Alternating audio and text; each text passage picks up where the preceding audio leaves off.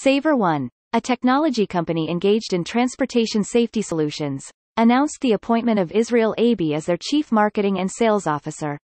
This appointment is a key step in Saver One's strategy for investing in increased market penetration in international as well as local markets.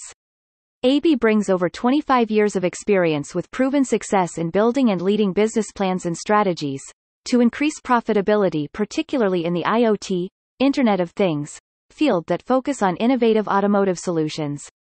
Prior to Saver One, Abey was business development executive at Forecast during 2021 and chief customer officer, CCO, at Israel's main telephony group, Bezeq from 2019 to 2021.